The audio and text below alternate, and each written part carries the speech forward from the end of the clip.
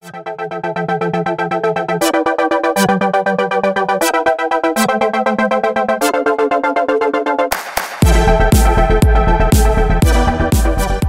you played Hi-Fi Rush and thought, I'd like to make a rhythm action game in Unity, only to find out it's not as easy as you expected? Did you go down the rabbit hole of trying to figure out why your music keeps going out of sync and get nowhere? The solution to this problem is both easier and harder than you might think. Honestly, it depends how hard you think it is. So, in theory, syncing your game to a beat should be easy. You take the BPM, or beats per minute, of your track, work out how long that beat is in seconds, and then trigger at that interval. Simples. The problem with this method is that your music and your game are working independently of each other. If the audio source is slightly delayed in starting, or the music stutters, or the game itself somehow gets out of sorts, your game and your music go out of sync and there is absolutely no way to correct it other than restarting both systems, because they're not talking to each other. This should be easy to get around. Instead of using the game time to track our beat, we use the elapsed time of the audio we're playing. That way, no matter what happens with the game or the audio source, our beat will always be in sync with the audio. Simples. This method works fine for uncompressed audio, but the way compressed audio is handled in Unity means that the time value is essentially useless for syncing if the track is like an MP3 or something like that. So, how do we do it? To get around this issue, we do something that, to be honest, Unity should probably offer itself.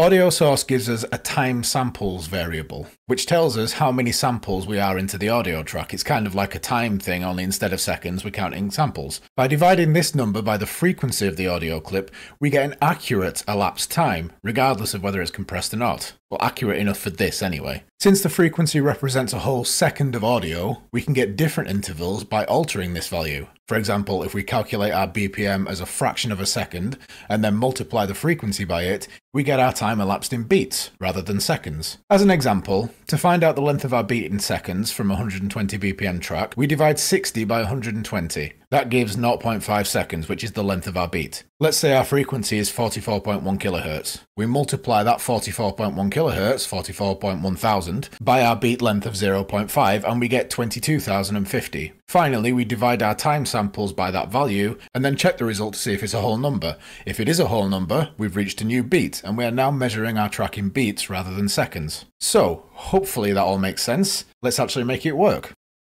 So as you can see in my scene here, I've got three cubes, nothing special, and I've put a script on each of these cubes, and all it does is it causes the cube to pulse. So it just gets larger and then it gradually goes back down to the same size. I've implemented a little enumerator to just do a test beat. So this every second this will pulse if I check this box use test beat. So we'll just show you what that looks like now. So that's all this is going to do. What we're going to do in this video is get this to do that in time with the music. I'm just going to create an empty and we'll call this beat controller.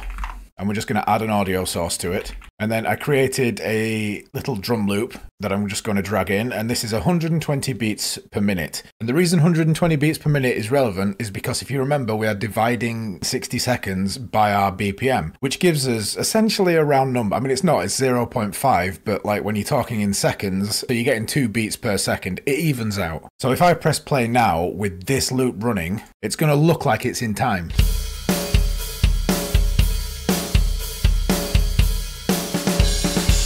Except it's not in time. It's just it just looks like it's in time because we started it at the same time. So what we want to be able to do is track where we are in our elapsed time of our audio track, and then we want to hit the beats according to the BPM of that track. So let's go into our scripts folder. We're going to create a new script, which I'm just going to call beat manager, I guess. I'm going to drag that onto our beat control. I could have called it beat controller, really, couldn't I? So in our beat manager script, we're going to need a few variables that we need to work with. So we're going to serialize field them and make them private because we don't need to access them from anywhere else except for in the inspector. So first one is just going to be BPM, self-explanatory. And then we want our audio source. And I'm going to make this, rather I'm not going to get the component because you might not have your audio source on the same object as this script. And then finally, we're going to need an array, and we're going to call this an array of intervals. Now, we haven't got a class for this yet. We're going to make that next. But for now, let's just make the uh, declaration. And then if we go down below our class and we're going to make a new class called public class intervals. And this wants to be a system.serializable class because we're going to need to set some of these variables in the inspector. Once again, serialize field private because we don't need to access this one from outside. And it's just going to be a float. And I'm going to call it steps. Now, if anyone is like a proper musician in the comments, feel free to let me know what I should have called this variable. Hopefully it will be clear what this variable does. But I, yeah, I couldn't figure out what to call it. And the next variable is going to be a private because once again we don't need to access it from outside this script. Unity event and it's going to be called trigger. And we're getting an error there because we haven't got the event system. So if we just go up to the top here using unity engine dot events and we only need one private there. So the first thing we need is a public function. And that public function is going to be a float and we're going to call it get interval length.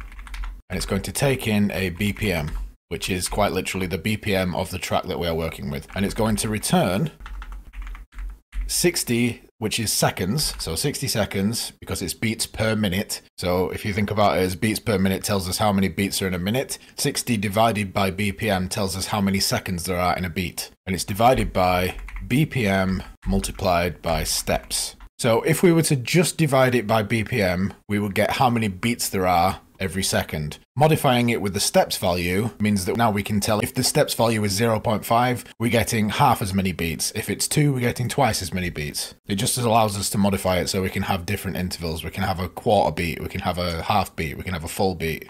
Now we need to use this variable, and to do that, we're going to have a public void check for new interval, and that's going to take in a float interval.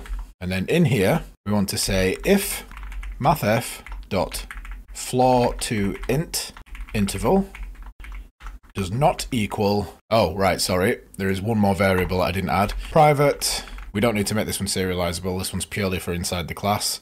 Int last interval. We need to keep track of what the last interval was the last time we called this function. So if it does not equal last interval then the first thing we want to do is set last interval to equal mathf dot floor to int interval. So the reason that we are doing floor to int, basically we want to check every whole number. So every time this number that we're about to pass into here crosses over to a, a new whole number, that means we have passed a new beat. We've passed that interval one more time. You could check if it's a whole number by doing something like, um, I'm not 100% sure this is right, but like if interval percentage sign 1 is equal to 0, I think that would return false if there was anything after the decimal point. But the problem is we're working with floating points and frame rates. So if you imagine a second at any given time, maybe something like 5. point zero zero zero zero four three nine four or 5, that's not going to return true as a whole number. And because we're working in frame rates, we can't guarantee that we're ever going to get a whole number because frame rates are like 0.02 seconds, 0.014 seconds, etc. We can't guarantee that we're ever going to hit an actual whole number. So instead, what we do is we floor to int. So we round it down to the nearest number and it has to be down, not just round, has to round down. And then we keep track of that number. So then, because we're updating so regularly, when we check the next one, if that number has changed, that means we've moved up one. And because we're doing this as soon as we notice that it's changed, it's close enough that it it works. Now, technically speaking, you may be 0.00048 seconds or something after the beat, but it's far too small of a distance for any human to notice, any normal human. So once we've checked that, the next thing we want to do is say trigger.invoke. The reason we're using event triggers is so that we can easily drag other stuff into the inspector to be triggered by this, this beat script. Speaking of the beat script, we need to actually make the beat script do something. So, private void update. And then all we're going to do is for each interval, interval in intervals. And then we want to get our sampled time. So our sampled time is going to equal audio source dot time samples divided by audio source dot clip dot frequency so that's the frequency of the clip multiplied by the interval dot get beat length Remember, each one of these intervals here that we're going to set up in the inspector is going to have a different beat length. So there's going to be a full beat length, a half beat length, a quarter beat length. So this is looping through each of them and determining whether we are currently on that beat. So BPM, we're passing in the BPM, uh, and this isn't get beat length, this is get interval length. I should have called it beat. There's no going back now.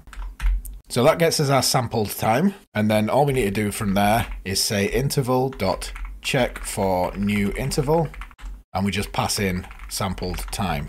So to recap, this gets us the, the interval, the length of our current beat that we're trying to track. This gets us the time that we are currently elapsed divided by the number of those intervals. So essentially, it gets us the time elapsed in intervals, in beats. And then this sends that number over to this function where it checks to see if we have actually crossed a new beat or not. So let's give that a try. So for our BPM, I'm going to set it to 120. We're going to have to add our audio source in there. And then for our intervals, I'm going to set up three intervals. The first one is going to be a whole step. So that's one every beat. And I'm going to drag in the little cube for this one. So I believe that is the green one. Yeah. So we'll drag in the little cube for that one. And now we can see in our function drop down, we've got pulse to beat and we've got pulse. So that is the function that I created to actually make the, all this does is it every update it lerps down from whatever size it is to the start size whatever size it started as. Obviously if it's already at the start size that means it doesn't do anything. When we call the pulse function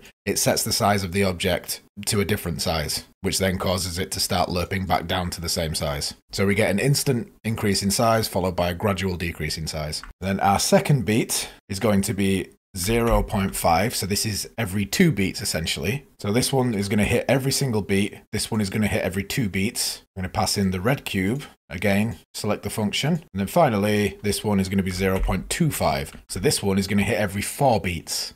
So let's give that a try.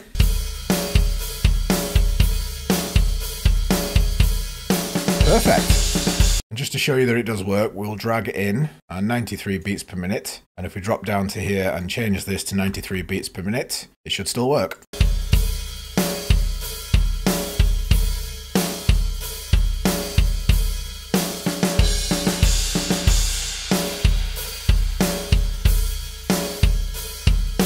Now, a couple of things to note about this script. This is to sync your game to a beat, not to a track. So if you want things to hit, like, say, in time with a particular instrument or a particular part of the beat, this isn't that. If you wanted to time, like, events to correspond to certain things in a song, you might want to look at something like Koreographer or bringing in MIDI tracks, for example. And then the final thing to note is that you do need to know the BPM of the track you're putting in. But as I was saying, this is just on the beat. It, it doesn't know what is going on in that music track. It is just triggering to time every beat every two beats, and every four beats.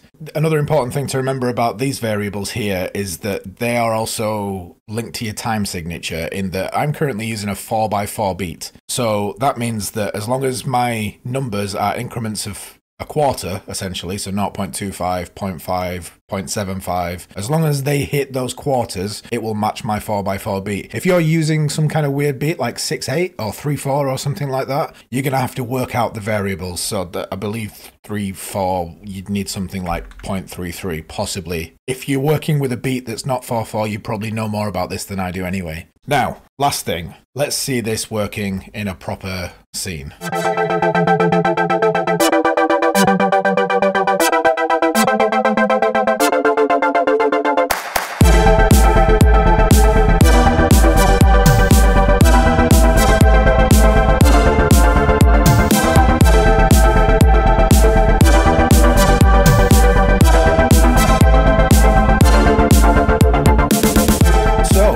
Is everything. To make things work, you just drag something onto a script that you can trigger, and then you drop it into the Unity events thing in the inspector of your beat controller, of your interval controller, your beat manager, whatever you call it, and then you just set it to trigger the function. As you can see in this demo, I also have it triggering some lights to come on and off. So that's it.